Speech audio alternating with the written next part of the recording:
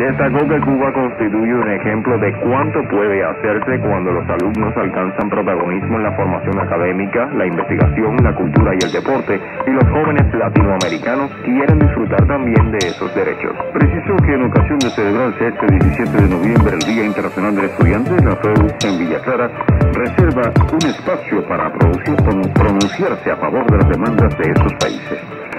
Radio Reloj. 9.57 minutos.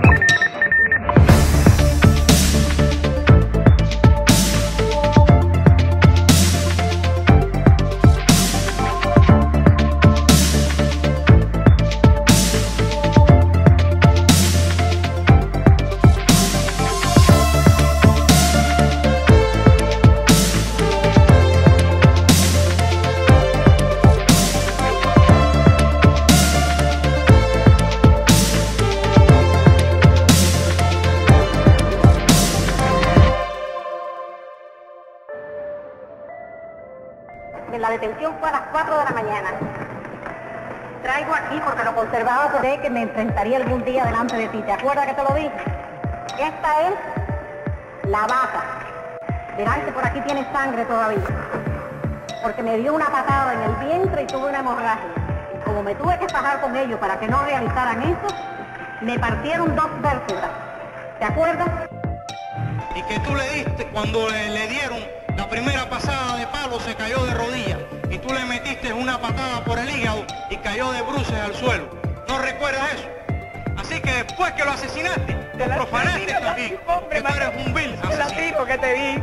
¿Delante de usted? De mí. Delante de mí lo mataste a tiro y después te reíste de cómo se moría. Perdóneme En Avellaneda número 106, el 6 de octubre a las 7 de la noche. Oiga la señora. Y dime que no. Dime que no. Te sentaste a contarme cómo la habías matado. Dime que no. Dímelo, Capiño. No puedo contestarle. Él mandó a matar tres gente, a fusilar tres gente que ni hicieron terrorismo, ni pusieron bombas, ni mataron a nadie, ni asesinaron a nadie. o cualquier cosa o a ir a disfrutar. Signora, tutto bene? No, no, es todo bien. Y ahora estamos viendo la culminación. Ahora, aliados militares. Bueno, imagínense ustedes que los Estados Unidos estén en cahoots, como dicen Sí. en, en- no, en inglés, o que estén en la misma cama, no literalmente, figurativamente, con Irán, es muy difícil de creer, pero bueno, No, no, todo es no, posible. es público. Ah, y, claro, no, es- es- y todo, es, es- todo es, es creíble en este momento. Vamos entonces a Benghazi. Aquí está Ted Cruz, senador, que dice que- qué casualidad que ahora es cuando apresan al hombre que mató a nuestro embajador. Adelante. Entonces, si la gente entendió bien, Ted Cruz está diciendo que por qué ahora es que arrestan a Abu Katala, que es el responsable del ataque, para ayudar a Hillary. ¿Usted cree que eso es cierto? Y ahí está. No sé, eh, menos mal que lo apresaron. Sí, Eh, y eh, hay que hacer mucho más. Todavía hay otros terroristas que están eh, en la calle eh, que estuvieron directamente involucrados en, en esos asesinatos. Menos mal que han recogido a uno. ¿Usted no cree que hay un sesgo político? No ¿Que sé, puede haber no la sé. mano política? No sé, yo hablo de hechos, yo no voy a especular. Muy bien, vamos entonces a lo último, que es más cerca de nuestro territorio, Cuba. Vamos al señor director, si puede usted poner unas placas para mostrarle a Lincoln y al público la última encuesta que acaba de hacer una de las universidades locales, FIU, donde dice básicamente que en esta ciudad están divididos 50 a 50 eh, cuando se trata del embargo. Está di- los cubanoamericanos, en ese grupo me incluyo yo, eh, a favor de las relaciones diplomáticas con Cuba. Mi- el embargo no ha funcionado para nada, el 71%. En otras palabras, hay una línea y un quiebre generacional. Mi mamá piensa que hay que dejar el embargo, mi generación piensa que hay que quitarlo. ¿Qué dice usted? Pierde credibilidad Ah, pierde. FIU al firmar. Dígame por qué pierde Hombre, credibilidad. porque primero conozco un poquito de la situación política y yo sé que eh, representar a esta comunidad, ser electo en esta comunidad, significa representar a una comunidad que se opone a la tiranía y que, y que apoya medidas para oponerse a la tiranía. Esta mujer va a lograr poner frente a frente con el pretexto del premio Osvaldo Payá al Parlamento Europeo frente a la dictadura cubana en una terminal aérea de Cuba. Si no dejan entrar al Parlamento Europeo a recibir este premio, la dictadura cubana estaría perdiendo miles de millones de euros en ayuda.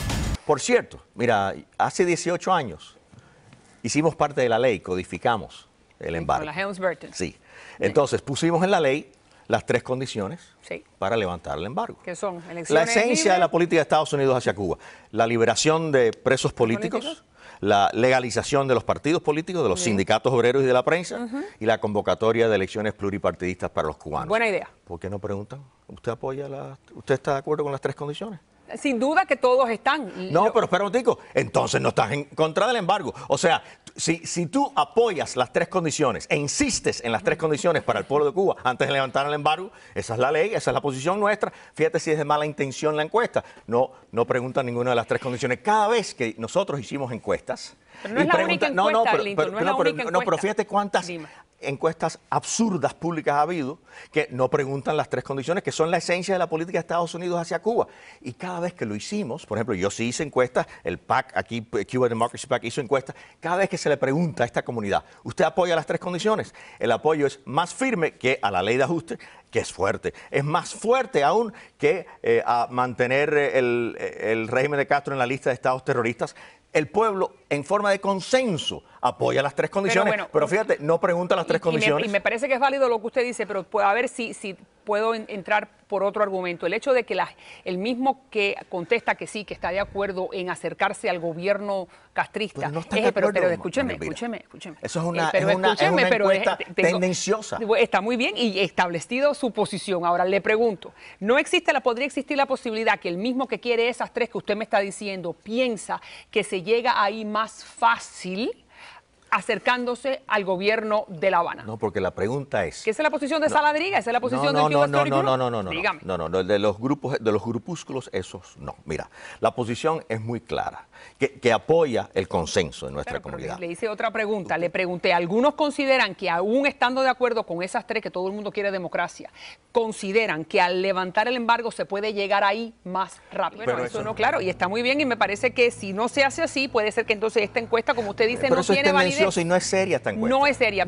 pero, pero va, tengo que ser periodista. Hay otras que indican lo mismo. No. Que esta, que esta comunidad, espérese, que esta comunidad está cambiando. Escúcheme, escúcheme. Esta comunidad está cambiando, que la gente que llega. ¿Y qué pasa con esa, esa carta que le envió, a- le envió gente importante de nuestra comunidad y también norteamericanos relacionados con la diplomacia que le están pidiendo al presidente Obama que haga un acercamiento? Es como un levantamiento unilateral. Bueno, no, eso es que viole la ley. Y esa carta, esa carta es eh, por intereses económicos, o bien que están en negocios con la tiranía, o que aspiran a estar Pero en esos son amigos suyos, esas son gente que viven entre nuestra comunidad y que son gente respetable. Mira, mira, estar Pero en esos son amigos suyos, esas son gente que viven entre nuestra comunidad y que son gente respetable. Mira, mira, estar Pero en esos son amigos suyos, esas son gente que viven entre nuestra comunidad y que son gente respetable. Mira, mira, mira. eh, bueno, eh, vamos a decir, amigo es una palabra muy mira, personal. mira, gente decir- que usted respeta.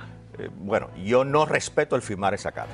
Luego de el encuentro que nos presentara el congresista Mario Díaz Valar, fue.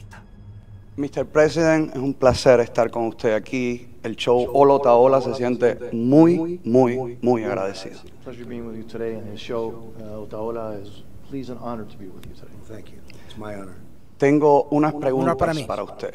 Me gustaría saber si usted siente que la influencia que sale de Cuba, del socialismo y el comunismo, están afectando estas elecciones y seguirán afectando el continente. Do you feel that the socialism that's coming out of Cuba is uh, affecting also the United States and potentially even trying to affect the elections here in the United States? So it's a very interesting question because, as you know, I've taken a very tough stand on Cuba. In fact, they gave me the Bay of Pigs. Award Me dieron el uh, two weeks ago. I got it dos twice. Semanas. Uh, Lo but I've recibí taken a dos very veces. tough stand on Cuba Estoy and tomando Castro and una everything that's posición muy represented. fuerte contra President Cuba y Obama contra gave it Castro. away and I El ended it. presidente Obama le dio y yo lo It could determiné. very well have an impact because when you Puede see haber this un radical impacto thinking, porque it's a es un very similar pensamiento thinking to what errático. they've done over the years Es in lo Cuba.